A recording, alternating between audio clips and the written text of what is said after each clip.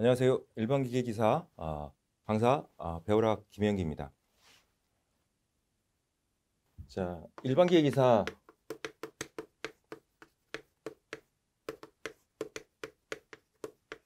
필기 예, 과목에 대해서 먼저 좀 말씀을 드리면 어, 1과목이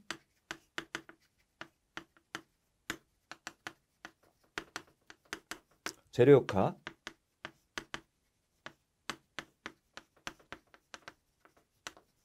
이 과목이 기계 연력학, 3과목이 기계 유체역학, 4과목이 기계 제작법 및 유압기기,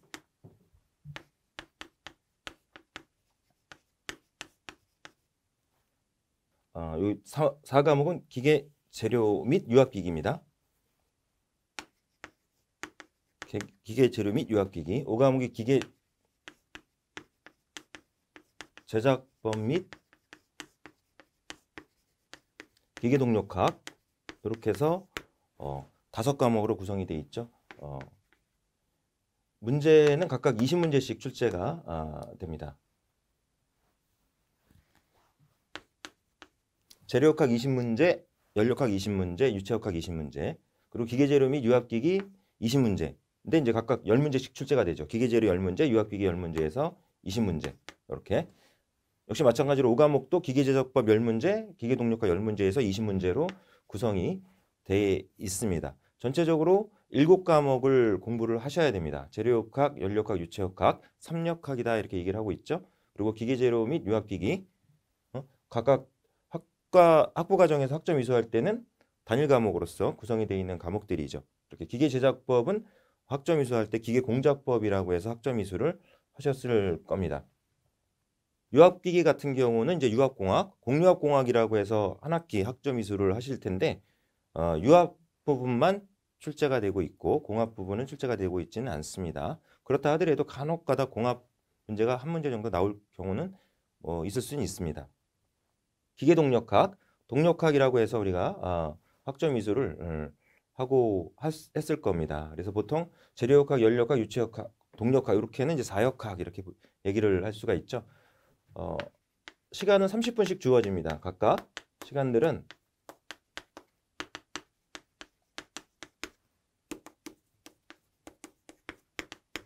(30분씩) 주어져서 전체 그 시험 시간이 2시간 30분 이라고 봐야 되겠죠. 2시간 30분 정도에서 한 문제당 한 문제 정도 문제를 풀이하는데 뭐 보통 1분 30초 정도가 걸린다고 볼 수 있습니다. 이렇게 1분 30초에 한 문제 정도 풀어 나간다. 그러면 굉장히 빨리 풀 수밖에 없다는 것이죠. 이런 역학 문제들을 한 문제 1분 30초 푼다라고 하는 것이 뭐 가능한 것들이 있고 대부분은 좀 어렵죠. 어? 그러니까 평균 한 3분 정도 전후로 해서 한 문제씩 풀어 나간다라고 생각을 하시고 공부를 좀 하셔야 될 거라고 생각이 좀 됩니다. 이런 이제 일반 기에서 필기는 이제 교재가 어? 구민사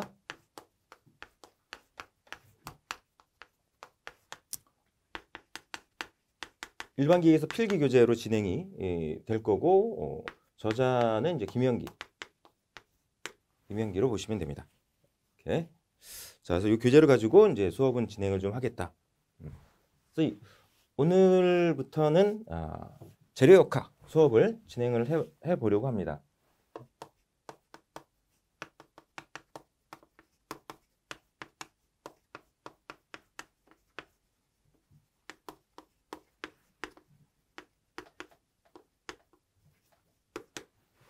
재료역학, 재료역학. 아, 일단 이제 재료역학이라는 음, 과목, 과목을 간단하게 좀 소개를 좀 하자면은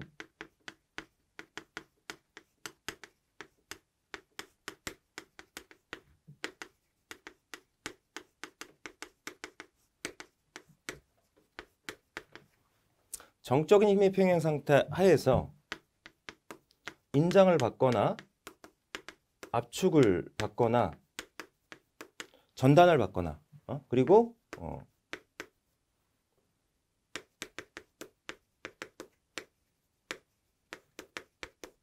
정적 모멘트 평형 상태 하에서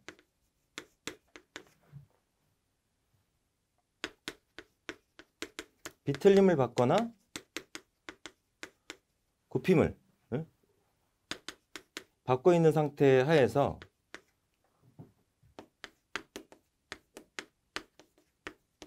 응력과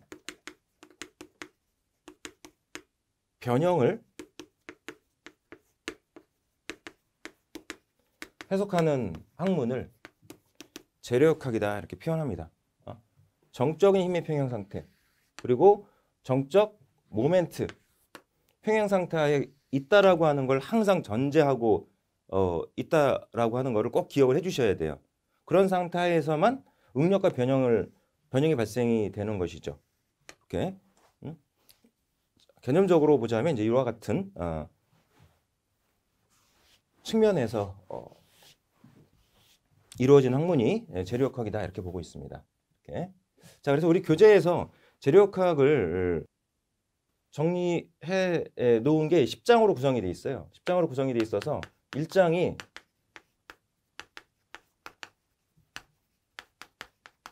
힘과 모멘트 평형입니다.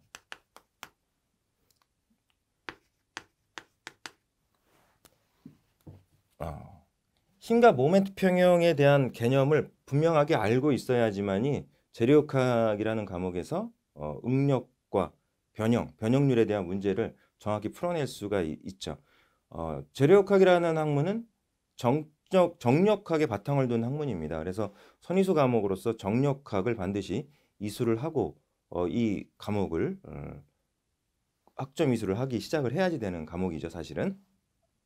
또는 또 어, 대학 학과에 따라서는 재료역학이라고 표현하지 않고 고체역학이라고 해서 또 학점 이수를 한 분도 계실 것이다 이렇게 생각이 좀 됩니다. 그래서 정, 정력학적인 측면에서 힘과 모멘트 평형을 한번 그 짚고 넘어가자 이런 차원에서 일장을 좀 준비를 했다 이렇게 볼 수가 있고요.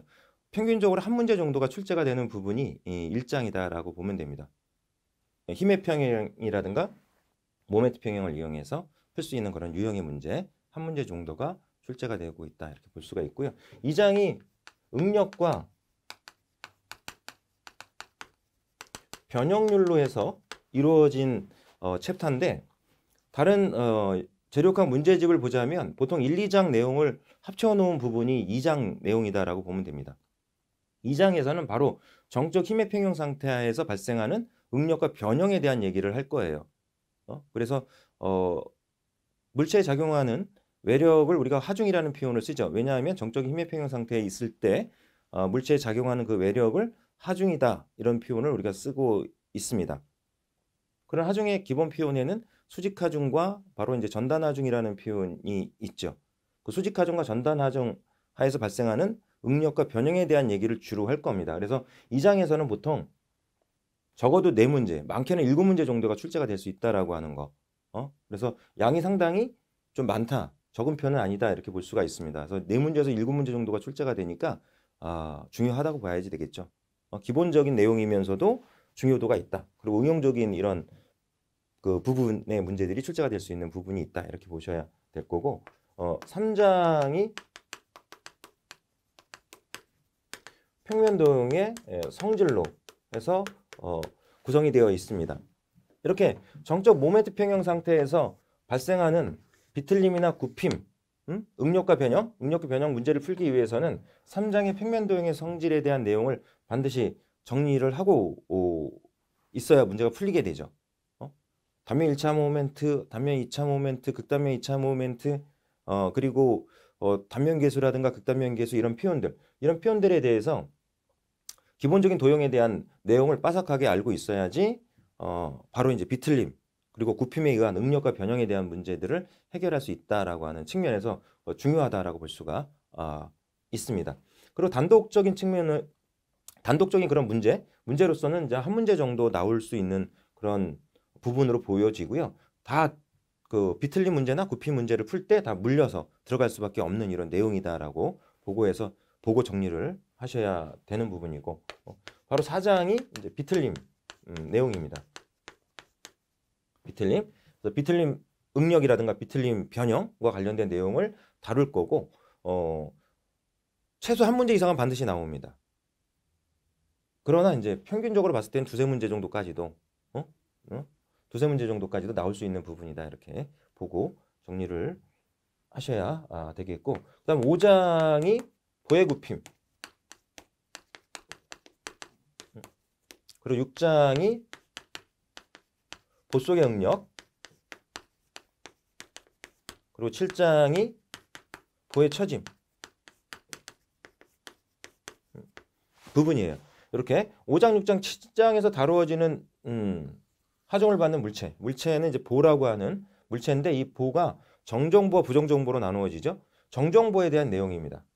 이렇게 정정보에 대한 내용이고 그리고 10장이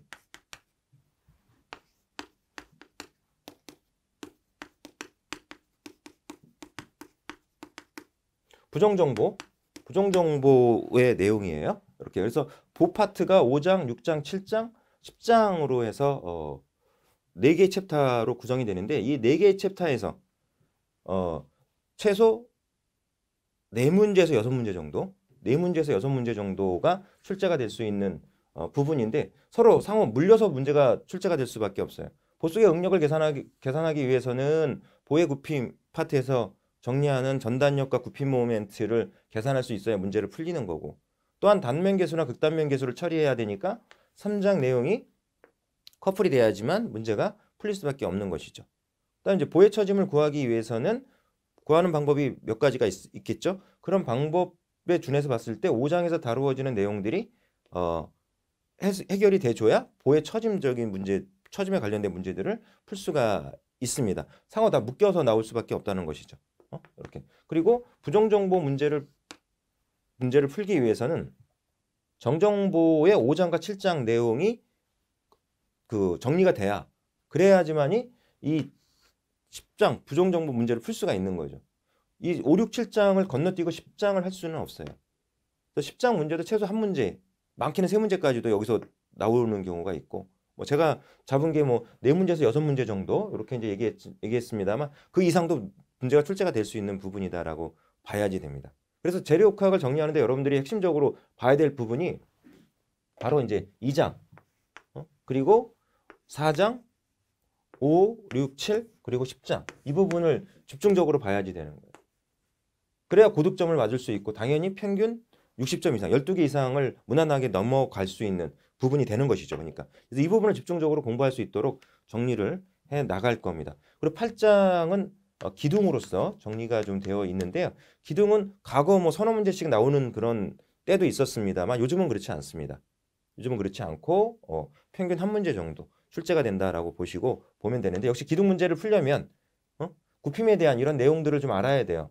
기둥은 어, 수직과 그러니까 수직력과 그리고 어, 굽힘을 동시에 받고 있는 이런 상태의 물체이기 때문에 어, 기둥 문제를 풀려면 필히 이제 5장의 보의 굽힘 이 관련된 이런 내용들과 그리고 3장의 평면도형의 성질 이런 내용들이 어, 알아야지만 문제를 풀 수 있는 그러나 간단하죠. 공식 다섯 개 정도만 외우면 되는 파트이기 때문에 한 문제 정도 그 이상 나와주면 thank you죠. 그러나 뭐 평균 한 문제 정도 뭐 안 나오는 경우도 있을 수도 있, 다는 부분 얘기죠. 그러니까 이제 한 문제 정도 평균 나온다 생각하시고 어, 공부를 해야지 될 거고 그다음 9장이 조합응력 파트로 이루어져 있습니다.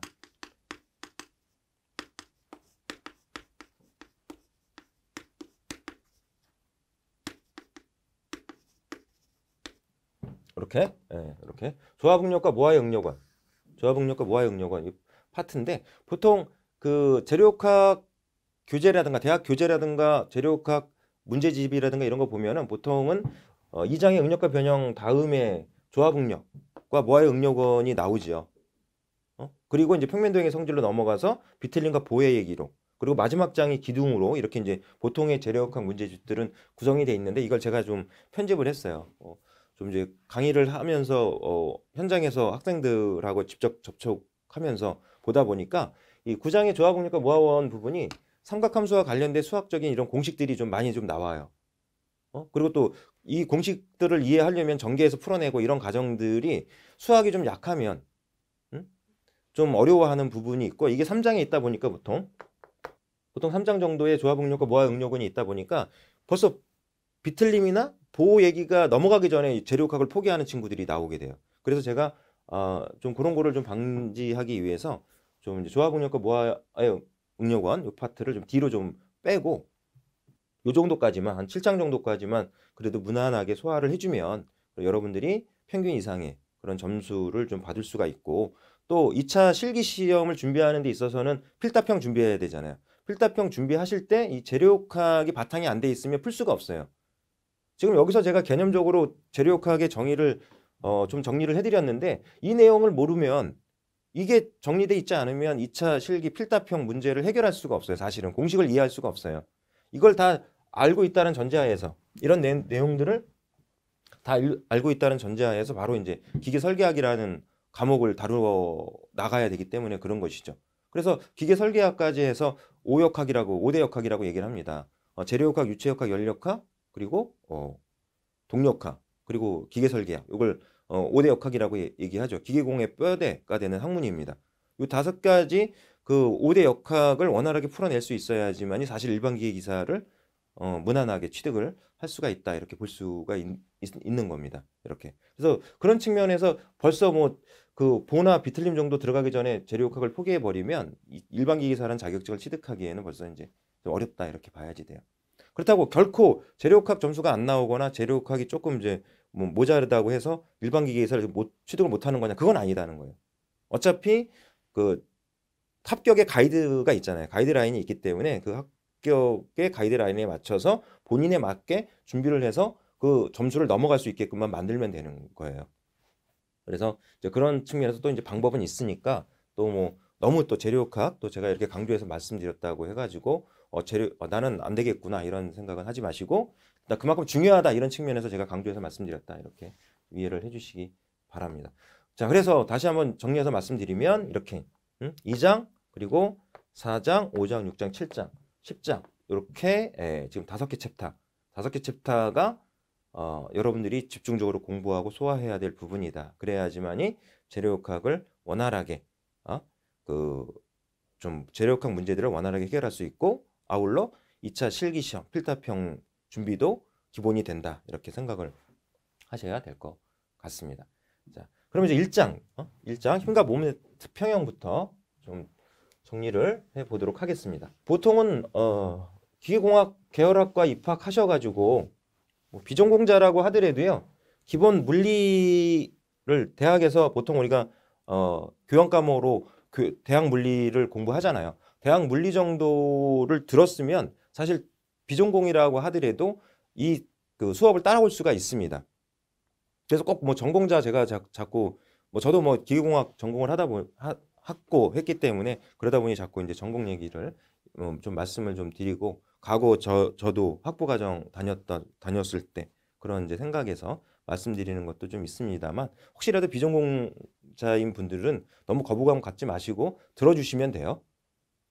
음? 공대 출신으로서 즉 그 대학 물리 정도 어, 학점을 이수한 정도면 이 수업은 충분히 따라올 수가 있다. 그렇지 않다 하더라도 어? 고등학교에서 기본 물리 완 정도를 좀 공부하셨다 그러면 무난하게 기계공학 파트의 이 자격증 음, 준비는 어, 가능하다 이렇게 보셔도 됩니다.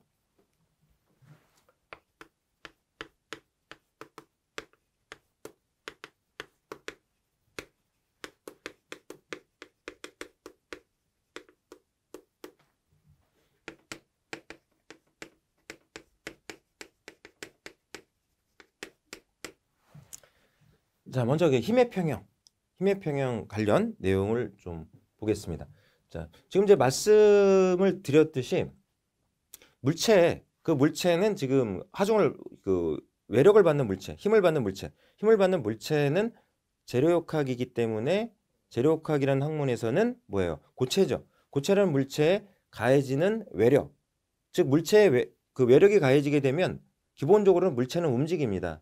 그런데 어, 재료학이라는 학문 측면에서 보면은 그 물체에 작용하는 그 외력에 의해서 물체가 움직이지 않아요. 정적인 상태, 어? 고정된 그런 상태에 놓여 있다라고 하는 게 항상 전제가 돼 있, 있어야 된다는 것이죠. 그렇기 때문에 반력이라고 하는 힘이 발생이 되고 어? 외력에 대한 반작용력, 어, 반력이라는 힘이 발생이 되고 그런 반력이라는 힘이 발생하게끔 하는 물체에 작용하는 그 외력을 우리는 하중이다 이라는 표현을 쓰고 있는 거고 그 하중을 받고 있을 때 바로 응력이 발생한다 이렇게 개념적으로 생각을 하고 있어야 되겠죠. 그런 측면에서 어, 정적 힘의 평형 상태를 얘기를 하는 겁니다. 어, 이렇게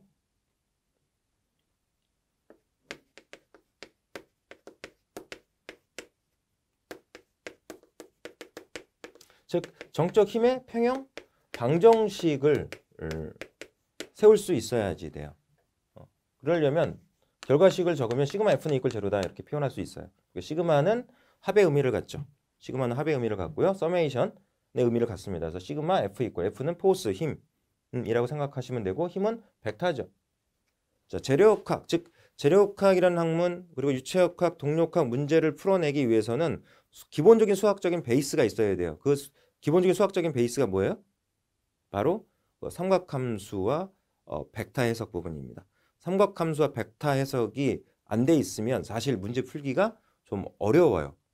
그러니까 응용 문제, 응용 문제를 응용 문제, 그러니까 문제를 응용해서 풀어내는 이런 측면에서 봤을 때는 좀 어려움이 좀 있을 수 있습니다. 그런 경우는 공식 다 외워야 돼요. 공식 외우고 문제 풀이 많이 하고 그 그런 상태에서 그 뭐 문제의 맞춤형 응? 그런 공식 그런 공식들을 암기를 다 일일이 해가지고 이제 문제를 풀어야 되는 이런 상황이 되는 거고 그래서 이제 좀 어, 기본적으로 이제 삼각함수와 어, 벡터 해석 부분 이런 부분들은 이제 돼 있다라는 전제하에서 제가 이제 말씀을 좀 드립니다. 특히 이제 그 힘의 평형 방정식을 세우기 위해서는 바로 이제 벡터 해석 부분에서 어, 벡터의 합성과 분해 이런 내용들을 알고 있어야 된다라고 하는 것이죠. 그런 부분들 알고 있다라는 전제하에서 어, 좀 수업은 진행을 좀 하도록 이렇게 하고요. 혹시 안 되는 분들은 수업 들으시고 나서 나중에 기회가 될 때 제가 그런 부분은 따로 뭐 그 기회가 되면 뭐 여러분들한테 좀 수업을 하, 해드리는 기본적인 것들은 해드리는 이런 시간이 따로 이제 좀 있을 수는 있을 것 같습니다.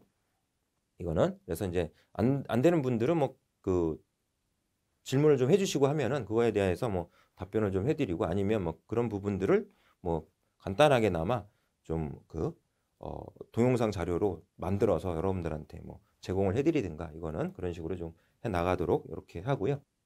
자, 그래서 이제 그 말씀드렸듯이 시그마 F는 제로다라고 하는 이런 어, 표현을 만족하면 정적 힘의 평형 상태에 있다라고 얘기할 수 있다는 것이죠. 음? 이렇게. 음. 뭐 예를 들어서 음?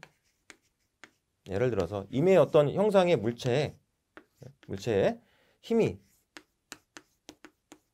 작용을 하고 있다 이렇게 보겠습니다. F1, F2, F3 이렇게 예, 힘이 작용하고 있다 이렇게 보겠습니다. 이렇게 어, 요 힘의 이 세 힘이 지금 합성을 했을 때 어, 힘의 합이 제로면은 정적 힘의 평형 상태에 있어요. 근데 합성을 했을 때 어, 정적 힘의 평형 상태에 있지 않아요. 그러면 움직이죠 물체가 움직여요. 그때는 응력이 발생하지는 않습니다. 그죠? 그런 얘기야. 그런 얘기. 그러면 이걸 합성을 하려면 어떻게 해야 되느냐? 그럼 먼저 벡터의 분해, 힘의 분해를 할 수 있어야지 돼요. 힘의 분해. 뭐 간단하게 좀 말씀을 좀 드리면 지금 좌표를 잡아야 되는 거죠. 좌표를 잡아야 돼요. 우리 보통 수평축은 x축, 수직축은 y축 이렇게 잡죠. x축, y축 이렇게 잡아요. 그래서 뭐 플러스 마이너스 플러스 마이너스 y 방향이 플러스 마이너스 x 방향이 플러스 마이너스 잡죠. 이렇게 예, 잡아서 어, 표현하고 x축의 단위 벡터들은 단위 벡터를 i 벡터 이렇게 표현합니다. y축의 단위 벡터는 j 벡터 이렇게 표현하죠. i 벡터, j 벡터 이렇게 표현해서 어, 직각좌표를 어, 이렇게 잡는데 음, x축과 y축이 이제 90도, 어, 90도인 좌표입니다. 직각좌표 이렇게 매기를 할 수 있죠. 그때 이제 y f3는 지금 y 방향 힘의 성분이에요. 밑을 향하니까 얘는 마이너스 방향이죠. f1과 f2를 분해를 해야 돼요. 힘의 분해, 힘의 분해를 해야 직각성분을 표현을 해줘야 됩니다. 어? 그때 F1, F2 요 시점, 화살표 있는 부분을 종점 이렇게 생각하세요. 이렇게 생각해서 그냥 수평적 수직적 따라가면 돼 그냥 따라가면서 하살표 만드세요. 따라가면서 이렇게. 그럼 이제 끼인각이 주어져야죠. 끼인각 주어져야 돼. 세타 1으로 놓겠습니다. 이렇게 f1x f1i 이런 식으로 표현해 놓을 수 있게 있을 수도 있겠죠. f2도 그럼 맥락에서 표현해 주세요. f2도 시점, 종점. 이렇게 시점에서 종점 방향으로 수평, 수직 쫓아가세요. 화살표 만들어 놓으세요. 그러면 f2x는 마이너스죠. f2y는 플러스가 됩니다. 이렇게 이런 식으로 f1x는 플러스, f1y는 플라, 마, 플러스, f2x 마이너스, f, f2y 플러스. 이때 이제 f2x, f1x를 표현하려면 사이각이 주어져야 돼요. 세타2 이렇게 놓, 놓자고요. 세타2. 그 다음에는 삼각함수 알고 있어야 된다는 거지. 그 다음에는 f3는 y방의 힘의 성분 마이너스 방향 이렇게 놓고. 그래서 정체 전체 정적 힘의 평형식해서 시그마 f 벡터 이꼴 제로다 이렇게 세우 해서 x축 y축 2차원 좌표계를 이용해서 표현하겠다 그러면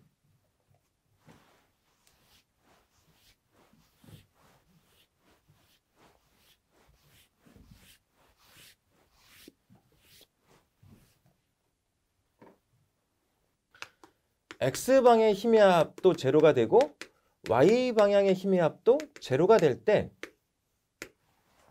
시그마 f 이퀄 제로다 이렇게 정적 힘의 평형 상태다 이렇게 얘기할 수 있는 것이죠. x방의 힘, 힘의 합도 제로가 돼야 되고 y방의 힘의 합도 제로가 돼, 돼야 되고 이걸 합성하면 이와 같이 표현이 되는 겁니다. 이렇게. 음? 이렇게. 음. x방향의 힘의 합을 구할 때는 플러스 마이너스 결정해서 어느 쪽을 향하고 있느냐 음? 플러스 마이너스 결정해서 더해버리면 되는 거죠. 이렇게 y방향도 마찬가지입니다. y방향도 플러스 마이너스 결정해서 그냥 더해버리면 돼. 근데 x방의 성분과 y방의 성분이 다 작용하고 있죠. 그러면 합성할 때 피타고라스 정리를 적용을 시켜야 돼. 그렇게 이제 문제를 풀어 나가야 되는 겁니다. 그런 것들이 기본적으로 이제 안다라고 하는 전자에서 얘기를 할 수밖에 없다. 이런 얘기지. 자, 그래서 이제 x방의 힘의 합 식을 세워야 돼. 시그마 fx 이퀄 제로. 그러면 x방의 힘의 합 힘, 힘으로는 f1x와 f2x가 있잖아요. 그럼 f1x는 플러스, f2x는 마이너스 이렇게 되겠지. 어? f1x 마이너스 f2x 이퀄 제로 이렇게 식을 세우는 거야. 이렇게. 그럼 f1x는 얼마? f1x는 삼각형, 직각삼각형이니까 직각삼각형이니까 어, 코사인 이용해서 표현해 주면 되죠. 이렇게 어, 직각삼각형에서 끼인 각과 마주 보는 변을 항상 높이로 보세요. 높이로 보시고 높이를 구할 때는 항상 사인 값 취하면 되죠. 이 높이와 직각을 이루고 있는 변이 밑변입니다. 그럼 x축이 밑변, y축, y축 변이 어, 높이 이렇게 되는 거야. 이렇게 돼서 여기서 이제 그 f1x를 표현하려면 코사인을 사용하면 돼. 세타1을 가지고 표현하려면 f1에 f1의 코사인 세타 1 이렇게 들어가겠죠. f2x도 마찬가지입니다. f2x도 세타 2와 마주보고 있는 변이 높이니까 어? 그거와 직각을 이루고 있는 변이 f2x 이렇게 해서 마이너스 f2의 코사인 세타 2 이퀄 제로. 이렇게 해서 힘의 합을 표현해 주면 되는 것이죠. 이렇게. 그럼 y 방향으로 작용하는 힘. 역시 세 가지 성분이 있어요. f1i, f2i 플러스 f3 마이너스. 이렇게 해서 식을 세우면 f1y 플러스 f2y 마이너스 f3 이퀄 제로. 이렇게. 이렇게. 그럼 f1y는 어떻게 표현돼? f1에. f1의 사인 세타 1 f2는 f2y는 f2의 사인 세타 2 이렇게 표현되겠죠. 이렇게. 네.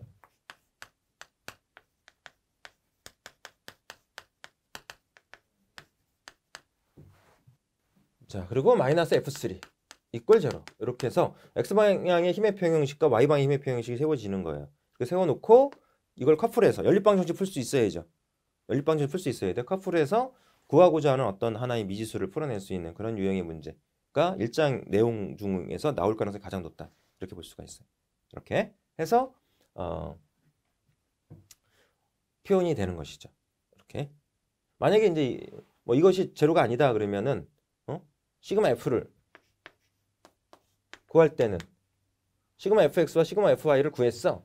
구했어. 그래서 그거에 대한 합성을 하라 그러면 피타고라스 정리 적용을 시켜서 시그마 fx의 제곱 플러스 시그마 fy의 제곱 이런 식으로 풀어내는 거죠. 지금 이거 공식 아닙니다. 공식이라고 생각하면 안 돼요. 지금 개념적인 거야. 지금 개념적으로 이런 것들 항상 우리는 이제 공학을 하는 입장이기 때문에 항상 그 머릿속에 이제 전제해서 깔아놓고 있어야 된다는 거죠. 그리고 필요하면 언제든지 불러와서 어떤 상황 어떤 상황의 문제든지 간에 불러내서 어, 풀어내고 어? 필요한 거 구해내고 이렇게 이제 돼 있어야지 된다는 거죠. 이걸 뭐 공식처럼 생각하시면 안 돼. 이런 식으로 문제가 나올 수도 있, 있겠지만은 이런 식의 문제만 나오겠어요? 다양하게 나오겠 나올 수도 있는 거죠. 이렇게 해서 생각을 하셔야 아, 됩니다. 이런 표현, 이런 표현들이 여러분들이 무난하게 이루어질 수 있어야지 이 재료학이라는 과목을 이제 어, 풀어 나갈 수 있는 그런 베이스가 되어 있, 게 예, 되는 것이다 이렇게 볼 수가 있을 것 같아요. 자 여기서 이제 중요한 공식을 하나 아, 좀 공식이라고 하는 걸 좀 말씀드릴 수 있는 게 이렇게 어떤 물체에 힘이 작용하는데 뭐 여러 개의 힘이 작용할 수 있어요. 항상 세 개의 F1, F2, F3 이런 세 개의 힘만이 작용한다는 건 아니잖아요. 그죠? 여러 개의 힘이 작용하는 경우 케이스들이 많이 있을 수밖에 없는 건데 그런 유형의 문제들이 있을 수밖에 없는 건데 특히 이렇게 세 개의 힘이 평형 상태에 있잖아요. 평형 상태에 있으면 이때는 정적 힘의 평형 상태에 있으면 이때는 꼭 힘의 평형식을 적용시키지 않아도 라메의 정리라고 하는 표현식을 이용해서 문제를 풀 수가 있어요. 이 라메의 정리라고 하는 거는 어, 삼각형에서 어, 적용이 되는 정현 법칙이라는 게 사인 법칙이라는 게 있어요. 사인 법칙. 그, 그 사인 법칙을 정적 힘의 평형 상태에 적용시켜서 어, 표현한 식이 라미의 정리다 이렇게 얘기를 할 수가 있어요. 그래서 음, 좀 정리를 해서 공식을 좀 말씀드리자면 어떤 이런 이제 물체에 물체에 이렇게 F1, F2, F3 이렇게 세 개의 힘이 어, 세 힘이 작용해서 정적 힘의 평형 상태에 있어. 어?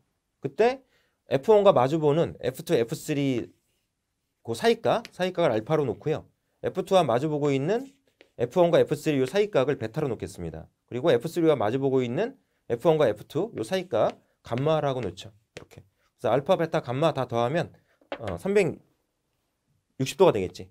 360도 이렇게 표현이 됩니다. 이런 상태 하에 있을 때는 항상 사인 알파분의 알파라는 각각 마주보고 있는 힘의 성분 F1 F1 하고 사인 베타에서 베타와 마주보고 있는 힘의 성분 F2 그리고 사인 감마 감마 감마와 마주보고 있는 힘의 성분 F3 이게 항상 같아요.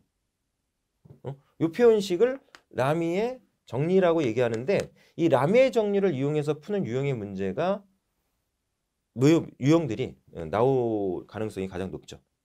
어, 이렇게. 힘의 평형식으로 이런 식으로 정적 힘의 평형식을 세워서 문제를 풀어줘도 되고 이런 케이스는 라미의 정리를 이용해서 풀어도 되고 그렇습니다. 그래서 라미의 정리를 활용해서 푸는 방, 방법이 좀 짧은 시간에 간단하게 풀어낼 수 있는 그런 음? 어, 유형의 문제로 어, 볼 수 있을 것 같아요. 이렇게 해서 요거는 꼭 알아두셔야 되는 뭐 공식이라고 봐야죠. 어. 자, 아울러서 이걸 이제 사인 법칙이라고 얘기를 합니다. 음? 사인 법칙이라고 얘기하는데 이제 코사인 법칙이라고 하는 것이 있죠. 어? 코사인 법칙이라고 하는 것이 있어. 코사인 법칙. 코사인 법칙도 참고로 여러분들이 뭐 한번 어 기억을 해주는 것도 어, 좋을 것 같습니다. 이렇게.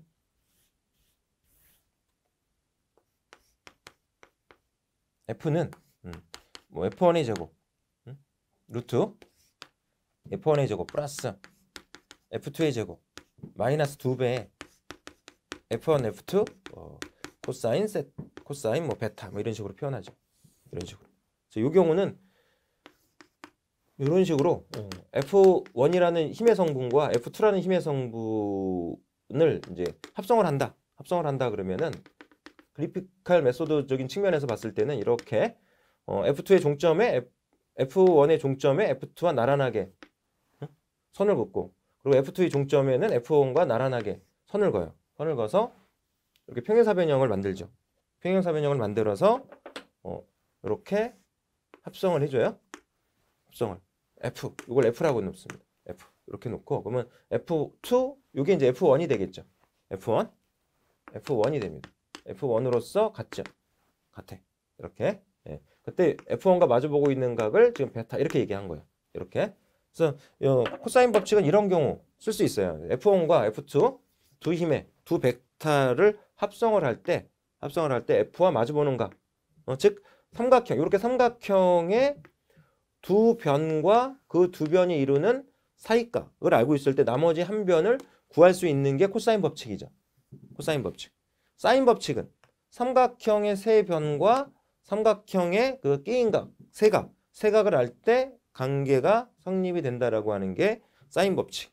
사인 법칙. 이렇게 삼각형의 두 변과 두 변이 이루는 끼인각 그리고 마주보는 한 변을 구하는 데 적용할 수 있는 것이 코사인 법칙이 됩니다. 그래서 이런 경우는 이런 F1, F2 이렇게 힘이 작용하고 있다라고 했을 때 이거에 대한 합력을 계산하라 그러면 이렇게 코사인 법칙을 적용시켜서 풀 수가 있어요. 아니면 F1, F2를 또 분해를 해야죠. 직각성분 F2x, F2y, F 그 1y, F2 F1x 이렇게 구해갖고 x 방향 x 방향끼리, y 방향은 y 방향끼리 다 더해, 다 더해서 구해가지고 이렇게. 이렇게 예, 합성을 해주면은 되죠. 어? 그래서 이제 x 방향 힘은 x 방향끼리 더하고 y 방향 힘은 y 방향끼리 더해서 더해 계산했을 때 이렇게 이렇게 이런 식으로 계산했을 때 제로가 되면 정적 힘의 평형 상태에 있는 거고. 그렇지 않으면 합력의 방향으로 물체가 움직이는 거고. 이렇게. 제로역학은 이런 합력의 방향으로 물체가 움직이는 그런 케이스의 문제를 다루는 학문은 아니다 이렇게 뭐 얘기를 할 수가 있다 뭐 어떤 이제 어? 바운다리를 이렇게 잡아서 좀 말씀을 드릴 수가 있다 이렇게 볼 수가 있다는 것이죠 음? 요 얘기야 힘의 평형 정적 힘의 평형과 관련해서는 요 내용을 알고 있으면은 됩니다. 이런 내용들을 기본 문제에 적절하게 적용시켜서 풀 수 있도록 그렇게 해주시는 것이 어, 필요하다. 어? 자, 그래서 이번 시간은 여기까지 좀 말씀을 드리도록 하겠습니다. 이렇게.